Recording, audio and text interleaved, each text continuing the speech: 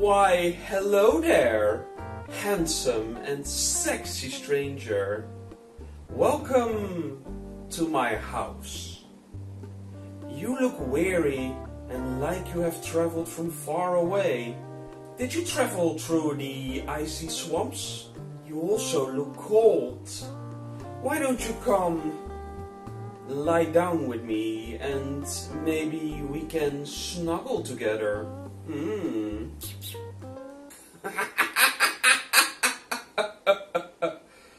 oh, I really gotta stop flirting with my own audience. Anyway, welcome to another video in which I ramble about stuff. It has been a while since I have um, done one of these unscripted videos. Though I suppose this one is not completely unscripted, since I kind of wrote a mini script for this. Either way, um, some of you may have noticed that I do not really do social media like Twitter or Facebook. And yes, there is actually a reason for that.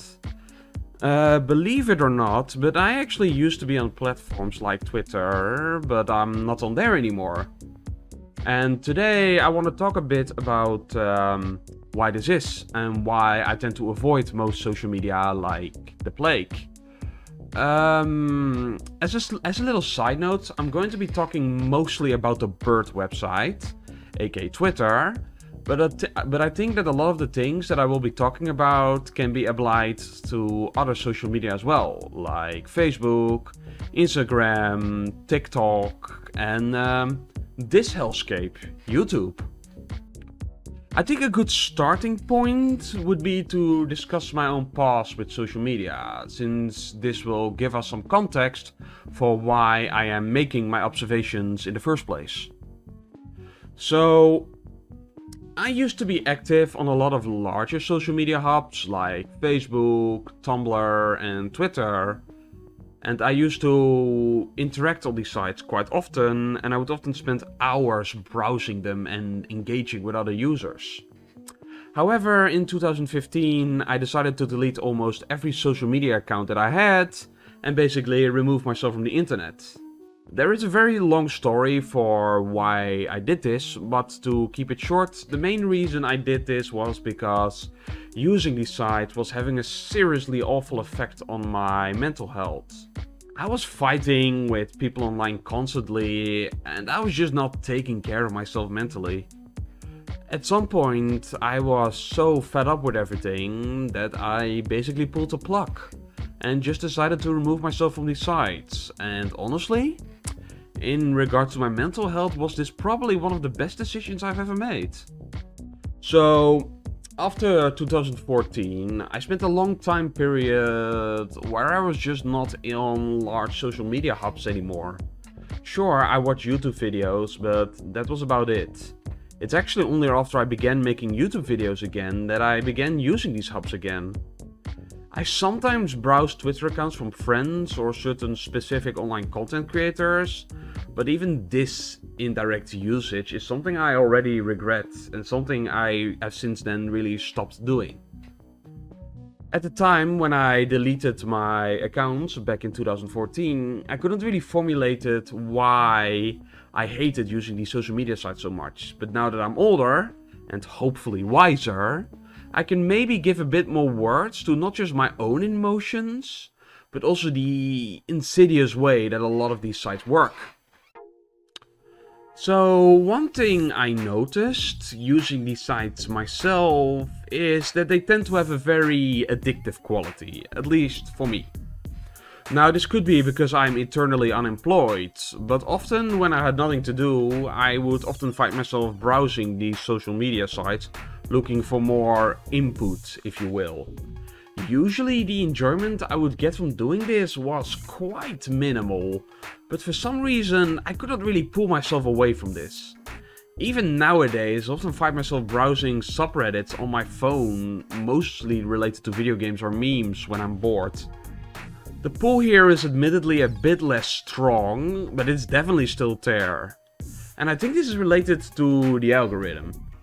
So every one of these sites, including YouTube, are governed by something called the algorithm. This is the code base behind the website that observes your internet browsing behavior and selects posts that are specifically tailored for you based on that behavior. Side note, this is how most of these companies make their money since they sell your personal info acquired by this to advertisers. This algorithm often uses a lot of psychological tricks in regard to catering to your tastes to keep you coming back and engaged. While these tricks are probably not quite as insidious as something like loot boxes in video games, they're not exactly harmless either, and this addictive quality can be a big problem for some people. It is extremely attracting, and some people that are distracting, and some people that are susceptible to this, kind of input can be easily exploited by companies or like bad faith actors like this. Which brings me to talk about the dreaded discourse. I have often stated in the past that I'm not a huge fan of the type of discussions and conversations that are often held among left-wing people in places like Twitter. And the algorithm plays a big role in why. You see, the more you interact with a social media platform, the more data they can extract from you, and thus the more money they can make of you. So algorithms will stimulate you to drive that engagement, to keep that discussion going.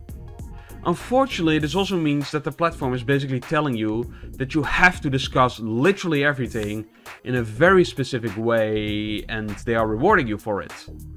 This is a method of discourse that really tends to skew discussions about subjects in a bad way, in my opinion. It stimulates people to become extremely defensive about everything they talk about. Even would it, if even if it would be in their best interest to concede and recognize that they were wrong about the subject. You see there's a lot of Twitter with the so-called bad takes, where people will say the most weird and nonsensical statement to either defend their position or to make a point about a subject just because they feel that it should be talked about. Now, here's my hot take of the day. Not every subject warrants a discussion, and sometimes better to just leave things be or just to walk away from something. Sometimes a lamp is not a lamp and not a bourgeois counter-revolutionary device. Now, this would be bad enough if this was confined to social media platforms on their own, but because so many people spend all day interacting with each other like this, they kind of forget how to discuss things in good faith in real life. This constant discourse and the need to have a take about everything just tends to skew the way a lot of people think about and interact with the world around them. And honestly, I don't think this is a good development.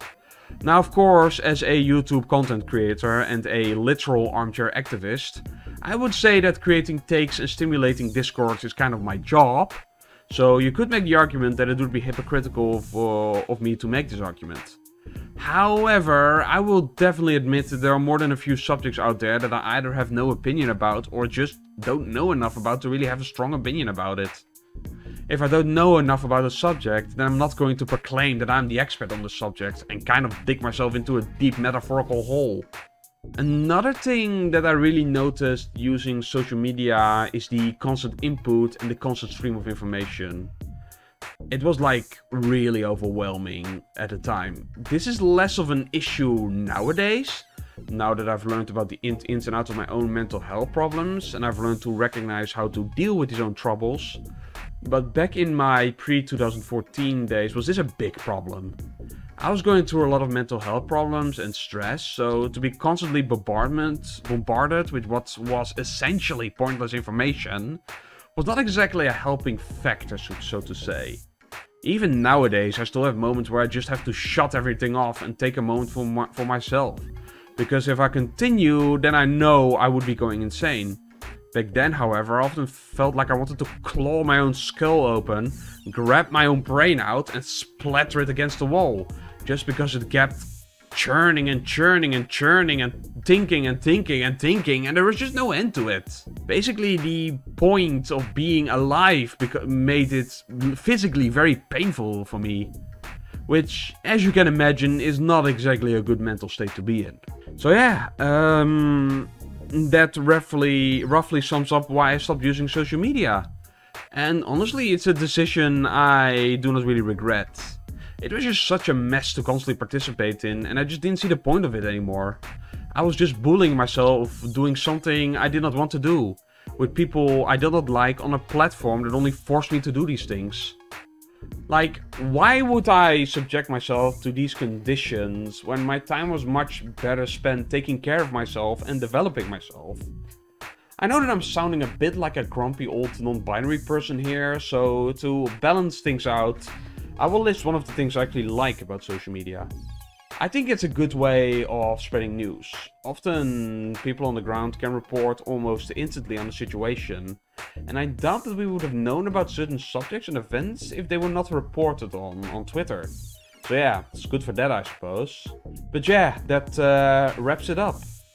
I still don't have an outro for these kinds of videos, so the end? Thanks for watching, and I'll see you all next time. Also read my blog.